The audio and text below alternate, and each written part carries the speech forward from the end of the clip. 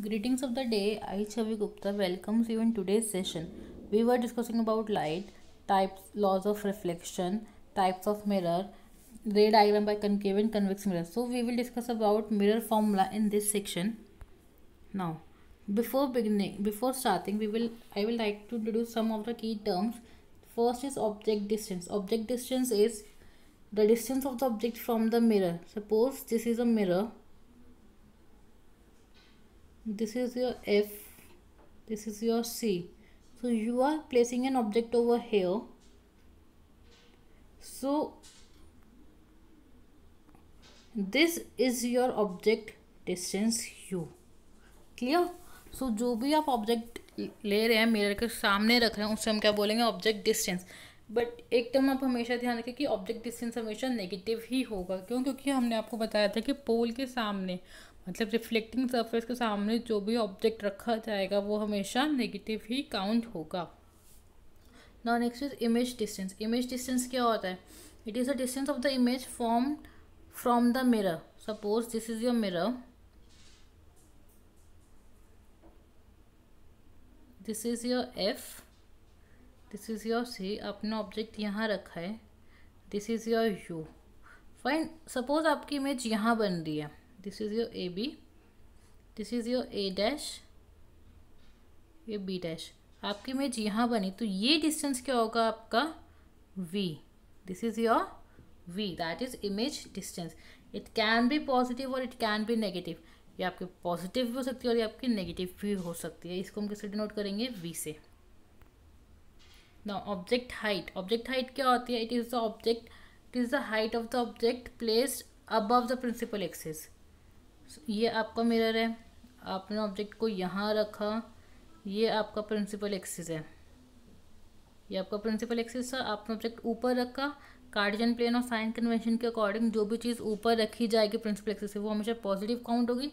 तो इसको हमेशा पॉजिटिव काउंट किया जाएगा। Now it is the height of the object placed above the principal axis it is known as object height and it is always positive and हम उसे किस से डिनोट करते हैं? एच से। स्मॉल एच से। What is image height image height क्या होता है कि आपकी ये इमेज बनी है suppose this is your A dash B dash आपकी इमेज बनी है। अब it can be above the principal axis किसी किसी केस में आपकी अबव द प्रिंसिपल एक्सिस भी बनती थी इमेज किसी किसी केस में बिलो द प्रिंसिपल एक्सिस तो जैसे इमेज बनेगी, अगर अबव द प्रिंसिपल एक्सिस है तो आप पॉजिटिव लोगे और बिलो है तो आप नेगेटिव लोगे. अबव तो पॉजिटिव और बिलो है तो नेगेटिव और इसको हम किससे डिनोट करते हैं? एच डैश से। किससे डिनोट करते हैं? एच डैश से। Now what is the focal length focal length क्या होती है? The distance between the pole P of the mirror pole को क्या कहते हैं? P and mirror focus means आपने ये मिरर है आपका। ये आपका एफ़ ये आपका पी ये आपका सी ये आपका ऑब्जेक्ट ये आपकी ऑब्जेक्ट हाइट ये आपका ऑब्जेक्ट ये आपकी इमेज हाइट फाइन ये आपका ऑब्जेक्ट डिस्टेंस ये आपका image distance fine now pole और फोकस के बीच का जो तो डिस्टेंस है, ये वाला पोल और फोकस के बीच का डिस्टेंस हम क्या बोलेंगे? फोकल लेंथ क्या बोलेंगे? फोकल लेंथ कनकेव मिरर में हमेशा नेगेटिव क्यों? क्योंकि आपका रिफ्लेक्टिंग सरफेस आगे होता है और कन्वेक्स मिरर में आपको हमेशा फोकल लेंथ पॉजिटिव है क्योंकि वो आपका पीछे बनती है मिरर में। What's a mirror formula mirror formula क्या है? बेसिकली आपका रिलेशन है जो ऑब्जेक्ट डिस्टेंस इमेज डिस्टेंस और फोकल लेंथ को कंबाइन करके बनता है। ऑब्जेक्ट डिस्टेंस इमेज डिस्टेंस और फोकल लेंथ को कंबाइन करके बनाया जाता है। और यहाँ पे यू क्या है? ऑब्जेक्ट डिस्टेंस जो हम पोल से मेजर करते हैं। वी क्या है? इमेज डिस्टेंस जो हम पोल से मेजर करते हैं। एफ़ क्या है? फोकल लेंथ मतलब मिरर जो हम पोल से मेजर तो आप सारी मेज़रमेंट पोल से ही लेंगे। नो सी द रिलेशनशिप आपको एक डायग्राम के थ्रू बता रहे हैं हम। वैसे मेरा फॉर्मूला था one by V plus one by U equals to one by F ये बात हम हमेशा ध्यान रखें कि mirror formula one by V plus one by U equals to one by F होता है। कनकेव मिरर के केस में आपका फोकल लेंथ नेगेटिव आएगा।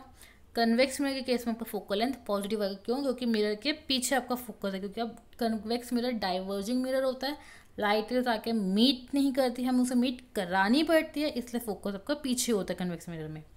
फोकल लेंथ कनकेव मिरर में नेगेटिव है, क्यों? क्योंकि वो मिरर के सामने होता है इमेज लाइटें सारी फोकस के सामने स्ट्राइक करती है ये कन्वर्जिंग मिरर होता है। ये आपको सारी इमेज सारे साइन कन्वेंशन और सारी टर्म्स आपको यहाँ पे दिखाई गई हैं। ना मैग्निफिकेशन क्या होता है? मैग्निफिकेशन का मतलब क्या होता है? कि बेसिकली आपका इमेज हाइट और ऑब्जेक्ट हाइट में क्या रिलेशन आ रहा है? इमेज हाइट और ऑब्जेक्ट हाइट में क्या रिलेशन है? उसमें मैग्निफिकेशन बोलते हैं। Now magnification is equal to the ratio of the image distance to the object distance that is आप ये भी बोल सकते हैं magnification object distance image distance V था ऑब्जेक्ट डिस्टेंस यू था। मिरर के केस में माइनस वी अपॉन यू होते हैं। क्लियर और you can say it as H dash upon में एच दैट इज़ मैग्निफिकेशन दो तरीके से जाती है आपकी। एक तो हाइट ऑफ़ द इमेज और हाइट ऑफ़ द ऑब्जेक्ट के टर्म्स में ये वाला फॉर्मूला लगेगा आपका। और अगर आप ऑब्जेक्ट डिस्टेंस और इमेज डिस्टेंस के थ्रू देते हैं तो आपका फॉर्मूला ये लगता है। Object is always above principal axis and height of the object is always positive बेटा, ये वाला बात ध्यान रखना कि ऑब्जेक्ट हमेशा प्रिंसिपल एक्सिस से ऊपर रखा जाता है, इसलिए हाइट आपकी ऑब्जेक्ट की हमेशा पॉजिटिव ही आएगी। नॉ मैग्निफिकेशन का फॉर्मूला देखिए आप। हाइट ऑफ़ द इमेज और ऑब्जेक्ट की केस में? एच डैश ये आपका एच डैश है, ये एच है। आप एच आई एच ओ कुछ भी लिख सकते हो, कोई दिक्कत नहीं है इसमें। मैग्नीफिकेशन और आपका ऑब्जेक्ट डिस्टेंस और इमेज डिस्टेंस के टर्म्स में ये रहा। Now see numerical suppose an object distance is three centimetre object का डिस्टेंस थ्री सेंटीमीटर आपको पता है ऑब्जेक्ट का डिस्टेंस आपको हमेशा नेगेटिव लेना होता है। Now in front of the mirror mirror के सामने रखा है image distance is twelve centimetre image distance twelve centimetre है. In front of the mirror mirror के सामने रखा गया है. मतलब इमेज कहाँ बनी है? मिरर के सामने बनी है. तो कौन सा मिरर हुआ? सोचो. अगर इमेज मिरर के सामने बनी तो कौन सा मिरर हुआ? कनकेव मिरर हुआ. अगर कनकेव मिरर हुआ तो आप वी क्या लेंगे? नेगेटिव लेंगे. क्या पूछा है? मैग्निफिकेशन इमेज डिस्टेंस और ऑब्जेक्ट डिस्टेंस के इसमें क्या फॉर्मूला था? M equals to minus v upon u तो अब आपने इमेज माइनस ट्वेल्व रखी ऑब्जेक्ट माइनस थ्री एक माइनस साइन ऑलरेडी फॉर्मूले में था माइनस माइनस कट गया माइनस बच गया एक. तो माइनस ट्वेल्व अपॉन थ्री कितना हुआ? माइनस फोर तो मैग्निफिकेशन कितनी आई? Minus four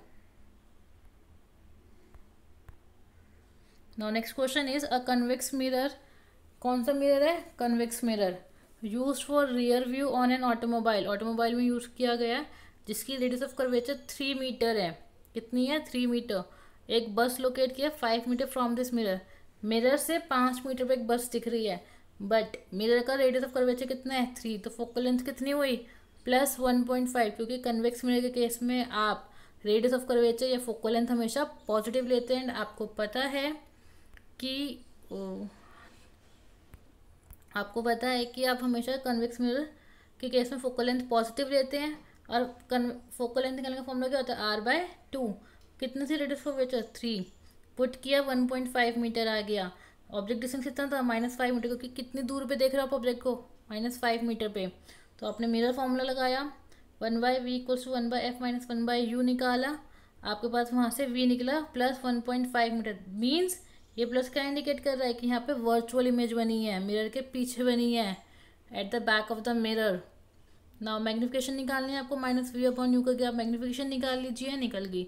तो अब अगर इमेज बड़ी है प्लस का साइन आया दैट मीन्स अगर मैग्निफिकेशन में प्लस का साइन आ रहा है तो क्या इंडिकेट करे कि इमेज बड़ी है virtual and erect sorry magnification अगर प्लस में आ रहा है that means image virtual and erect है, और कितनी छोटी है?